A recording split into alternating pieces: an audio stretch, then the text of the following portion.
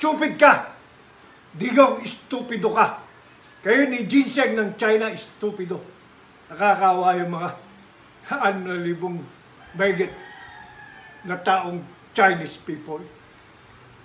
Sila nag-invento ng sabog, methamphetamine hydrochloride. Ako, tapatan yan, ako pumatay. Idong Pepe Oison, yan ang unang drug lord ng Pilipinas, Hong Kong trial.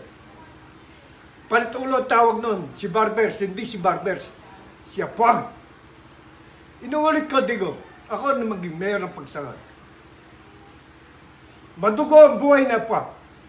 Ako pumapatay ng mga pusakal na kriminal na salot ng bayan. Ikaw, nag-uutos ka, digong. Pumatay ka na ba? Kapag binanata ka ng media, papapatay mo, tinatanong ka, sino nagpapatay ko yung pala? In politics, there are no permanent friends. There are no permanent enemies. Ngayon, Ayas Sinugrales, yung anak, kaibigan mo.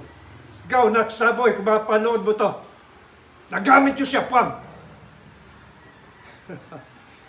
Nasabi ko lang, digong, ha? Jokes, stupido. Iyo de puta ka. Kawawang bayan. Akala ko na mawala si Marcos, gagandang Pilipinas. Ngayon na nariwa, ako ang bumanap na Dr. Pacifico Marcos sa ginuhit ng tanda na inuulit ko. Kumpare ko si Gina Parino, Renato Del Prado, Bert Leroy. Oh God, sinasabi ko lang, lahat ang pumalit kay Marcos, puro magnanakaw, mas malala ka, digong. Mafia, duke. Duke, nung mawala si Janet Guerin 2009, kinolong ko yan. Dembaksya. Yung dembaksya na naman, hindi ka mabitawan ni Digong, walang bidding. Oh God, kawawa mga anak natin, mga apo. Tanda na siya, puwang eh. Ha? Matugo ang buhay ko, Digong, inuulit ko. Oh, siya po ang buhay. Kodeta 1989. Si Gringo, wala akong masabi dyan. Nung wanted si Gringo, ikaw ang tago dyan. Kaya siya ang DIG sitting here. Ang really. Danilo, sumalangit na hawa. Ang kalwa ni General Danilin. Oh, Mayor ako ng pagsangan digong. Ha? Ako hindi nag-uutos. Kaya sumama sa iyo. Kapag ikaw naging Pangulo, unahin mo. Ang mga drug lord. Save the users. Eh, nakakita ko. In the upper and lower house of Congress, na dyan ang mga narco-politicians, in disguise as congressman and senator. Ang matinulang dyan naman si Senator Pampilo Morena Lacson. Kuya naging presidente ng Pilipinas, si 7-1 si Ping Lacson. Naku, ang ganda. Namatay nga mami niyan, 6 years ago. Pumunta ako sa bahay niyan sa Imus. Makakita mo, lumang bahay. Walang port barrel yan. Digong, inuulit ko. Pakyo, Digong. Ha? Pakyo. Pakyo, Duque, Pakyo, Pan, eh, Panelo. Kayo ang Kelkoy. Nabuhay si Dolphy at si Panchito. Madugong buhay ko, inuulit ko. Ako pumapatay ng mga pusakal na kriminal. At yan para malaman ng tao. Doon sa mga baser, matanda ka na po. Tatanda rin kayo. Ha? O, binanata ako sa Isikang Moreno. At sinasabi ko, sige, tatahimik na ako. Nagparamdam si Mayor Lim. Mayor Alfredo Sioli. Abner, naramdaman ko ni sa gabi na pangarap ko. Kaya dumalaw ako sa Manila North Cemetery. Kahapon. Abner, uh, si Isko, sige, okay. Yung nakaraan, nakaraan na. Pagandahin mo na lang kung sakasakali. Mayor Isko Dumagoso Moreno ang siyudad ng Maynila. At pinuulit ko, pag mo nasundan, noon na, talagang binabanatan kita based on facts. Pero si Mayor Lim, malakas ng power. Napangarap ko, hindi ako nakatulog magdamagan. Nang sabi niya, okay sir. At yun ang masabi ko na, kaya nga si Mayor Lim, oh, Pulis pala ako. Basta lumapat ng lupang Makati, tatawag sa akin yan. Siya ang Chief Northern Police District no, siya Manila Police Chief. Sabi ko lang, Binay, wala ka pa nun. Ay, nakakaya, no? Kailan lang? Namamatay yung general, lakad kami. 2012, kolumnista ako. Tapatan yan. At sasamantalahin ko. Ha? Ah.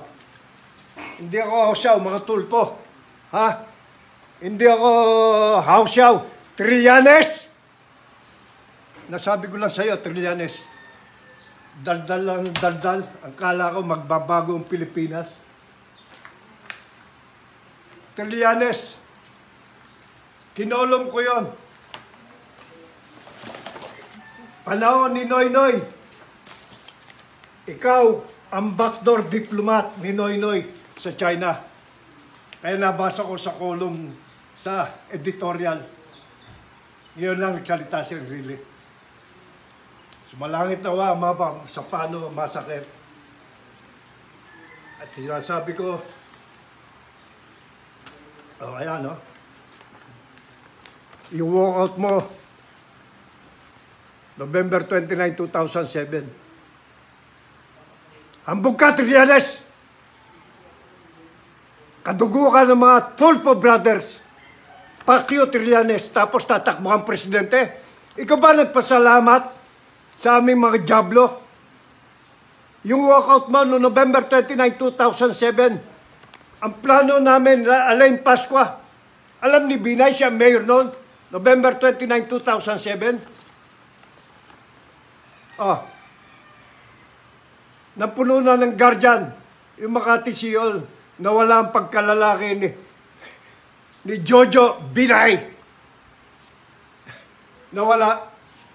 Ang usapan doon, hindi sa Manila Peninsula, ang meeting kung saan nag-hunger strike si Apuang, the bounty hunter. Bakit nadamay Manila Peninsula? Bumuo sa malakas na ulan. Ikaw, perdon, nakapelo ka ka, wanted ka nun.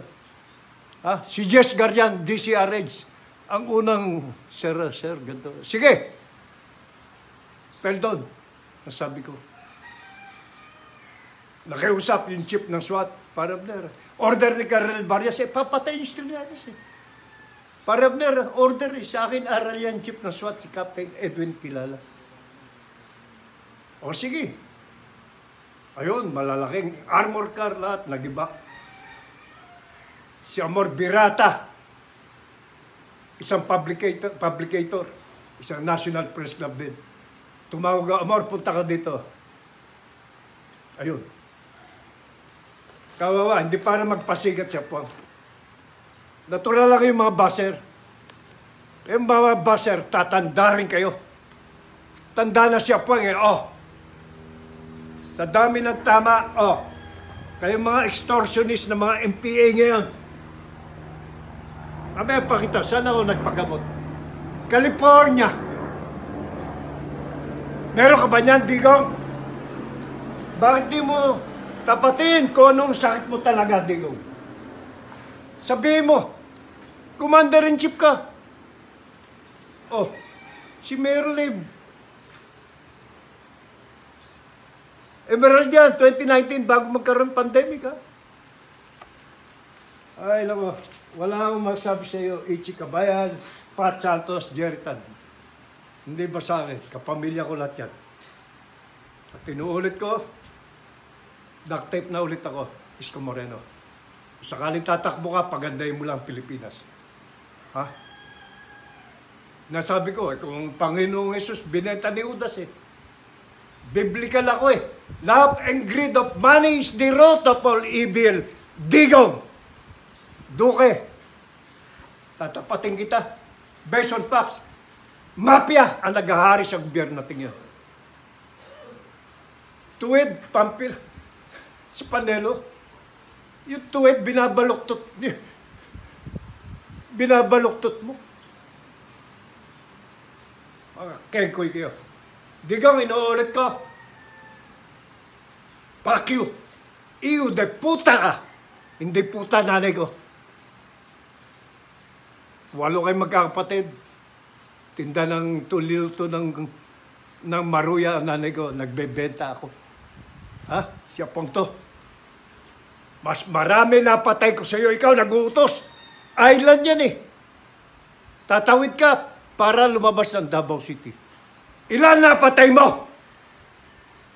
Wala. Kahit ipis ikaw nag-uutos, bongguin mo ang kwarta namin, malasakit sa kwarta namin. Drama-drama ka bonggo. Hindi ganito. Lahat. Sana bongguin mo kwarta namin nung pag mo yan. Ilang dekada kang barkada ni Digong nung siya meron Davao. Flag banner ka na, inuulit ko. Nambitay si Flor Contemplar, Singapore. Digong, ikaw ang una nagsunog ng bandera Singapore. Meron ka ng Davao 1995. Siya po ang, ang pangalawa nagsunog sa harap ng Singaporean Embassy. Buong mundo nagsing. Ano sabi ng Singaporean government? That police officer, Apuang, when he comes here, bitay. Persona ng grata. Oh! Isang taon na lang, mahigit lawyer na ako. Hindi ko tinupad, di ko. God destroys liar. Sabi ng abogado, kaya si Mayor Lim natawa ko eh. Abner, hindi ako kasama doon. God destroys liar. Ah, huwag mo aminin ha. Ay, nako, digo. Alam ko, buhay mo. Tinatanong lang, sino nagpapatay kay Jun Pana? Broadcaster ng Davao City. Natanong ko lang, sinong gumamit ka po? Not Saboy. Panahon nung matandang Nograles siya. Nako, based on. Hindi ako show. Ha? Tapos nga, ikaw, 16 times, backdoor diplomat, Trillanes, eh bobo ka eh. Bir mo, eh bir mo, napapag-isa ka ng mga incheck 16 times, bumalik ka sa China, backdoor di- diplomat ka ni Noynoy Aquino. Pinagmamalaki mo, hindi, Philippine Navy, ganun-ganon. Eh, sabay sana umalis. Pinaalis mo ang Philippine Navy. Tapos, doon sa message, di message, wala sa dulo. Kawawa. Kawawa. Trillanes, hambog ka. Tulpo Brothers, diplomat ng China, ni Digong, Montulpo, hambog kayo. Oh, Nakapatay na ba kayo? Tulpo Brothers? Philippine Constabulary siya po. Bukhang bibig nyo. Eh, tatay ko, PC. Ako, hindi ko ang pulis. Ako lang, o hindi ako na mali ang nagpulis. Hindi mo dala rango. PC ako. Nuulit ko. Ha?